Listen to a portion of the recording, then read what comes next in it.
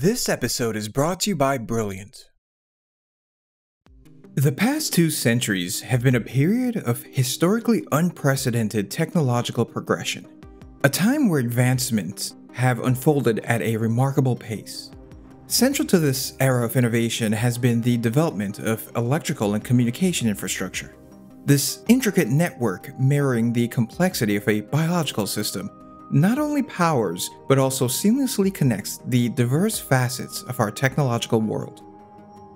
When considering the vast collection of housing, commercial, military, and institutional buildings, the infrastructure that connects them, the nearly 2 billion vehicles traversing our planet, and the myriad of other products and lesser known structures, an astonishing estimation emerges. Earth is interwoven with approximately 4.7 trillion kilometers, or about 3 trillion miles, of wiring. This staggering length approaches half a light year, a distance, if stretched end to end, would extend far beyond the boundaries of our solar system and into where interstellar space begins.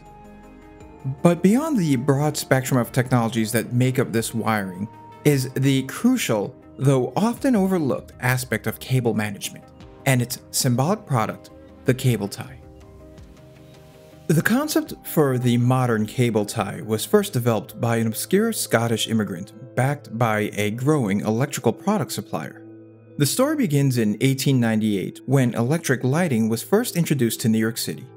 Two Princeton University students, Robert M. Thomas and Hobart D. Betts, joined together to sell conduit to electrical distributors. As the use of electricity increased, Thomas and Betts' venture would prove to be highly profitable, and in 1911, they began to develop, manufacture, and market products under their own brand. By 1917, all facets of their business would be consolidated in Elizabeth, New Jersey. By the 1950s, Scottish immigrant Maurus C. Logan would join Thomas and Betts. Born on July 6, 1921 in Dalmuir, Scotland, Little is known about Logan's early life, but by 1956, it is well documented that he had been living in Elizabeth, New Jersey and working for Thomas and Betts.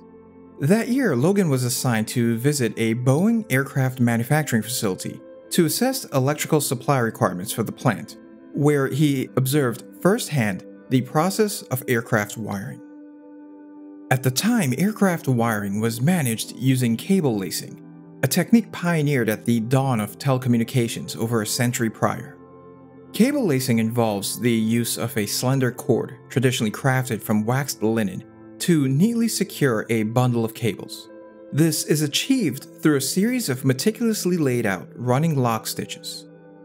In contemporary adaptations of the technique, lacing tapes have evolved incorporating modern materials like nylon, polyester, Teflon, fiberglass, and Nomex. These materials are often enhanced with various coatings to bolster knot security, ensuring the lacing remains both functional and reliable. Cable lacing was originally developed for telegraph lines and eventually was applied to phone lines and other telecommunications infrastructure. The technique begins and ends with a knot, typically a whipping knot, to securely fasten the free ends. The wrapping spacing is carefully adjusted according to the harness diameter, ensuring the wires are tightly and neatly bundled, with any excess ends trimmed for neatness.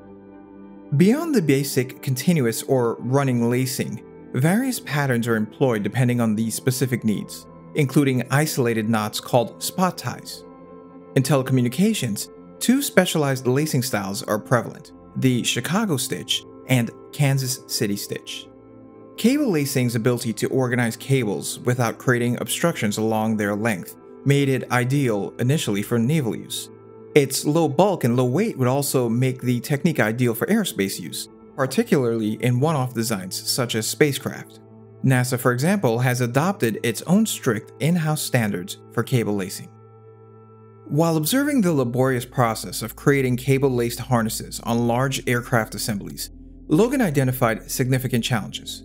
Workers manually laced thousands of feet of wire across 50 foot long plywood sheets using wax coated braided nylon cord. This arduous task often left them with hamburger hands, a term coined for the calluses and deep cuts created by the tedious labor. Determined to simplify the process, Logan dedicated two years to exploring various tools and materials. His efforts culminated on June 24, 1958, with a patent submission for his novel cable tie.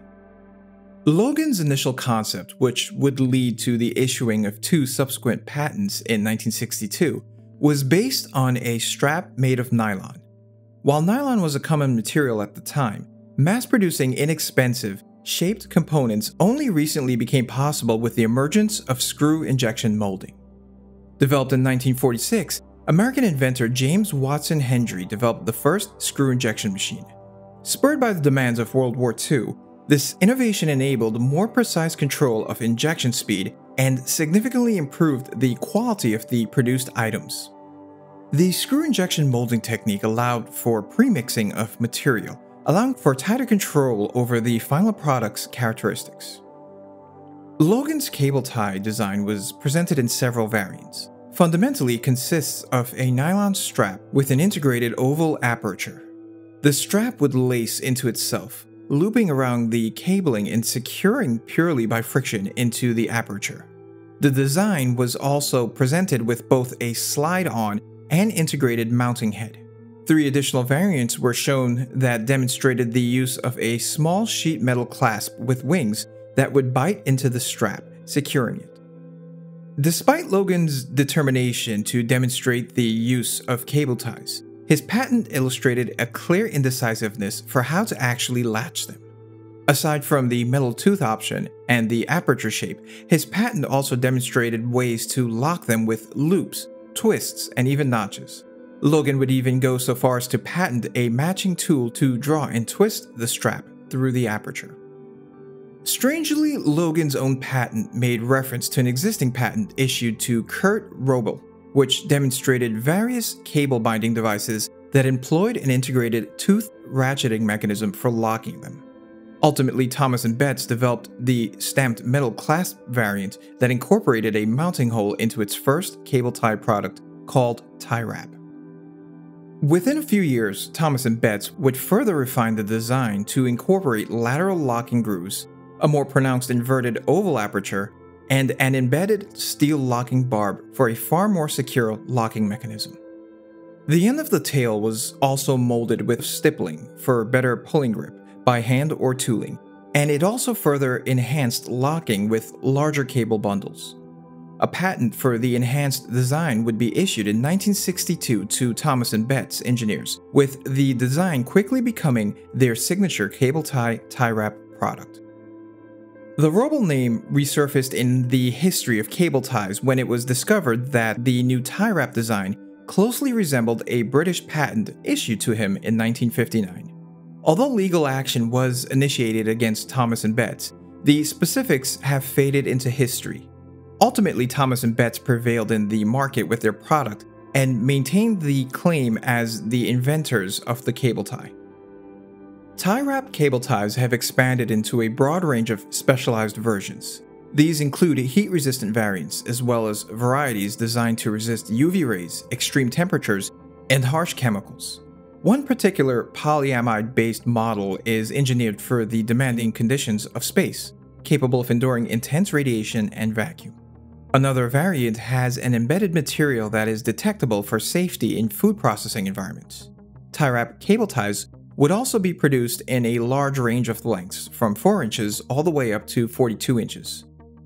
Thomas and Betts would go on to create two highly popular offshoot products.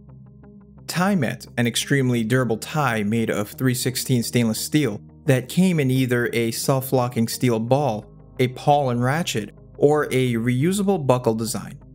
And Ty-Fast cable ties, a completely nylon tie that relies on a toothed strap and an integrated ratchet barb within the aperture. Ironically, operating on a similar principle to Roble's earlier patent, Ty-Fast products would become the most popular and recognized form of cable ties.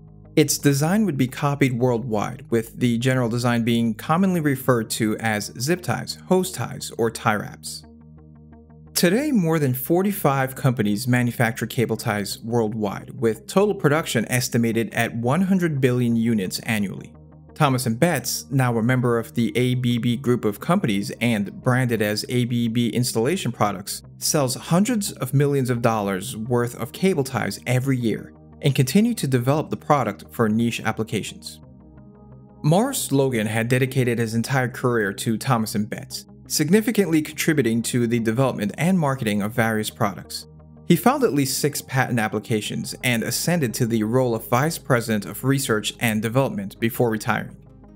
In 2006, Logan relocated to Seabrook Village in Tinton Falls, New Jersey, where he passed away in November 2007 at the age of 86. Cable ties have become a ubiquitous presence wherever humanity has ventured. They can be found on the ocean floor, the surface of Mars, and even abroad the fastest man made objects on Earth. They play a critical role in the data centers that power our information driven world, and are a common component in the vehicles we use. Their widespread utility, yet unassuming simplicity, make them indispensable to our modern world.